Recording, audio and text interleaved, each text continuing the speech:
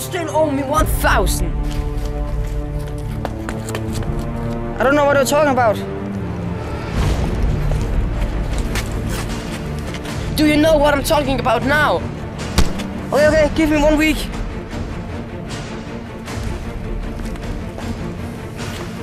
It's the police! Get that gun down!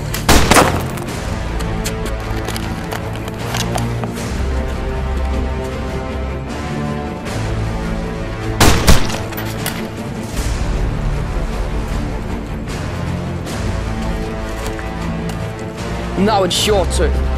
But I don't have the money. Give it two days.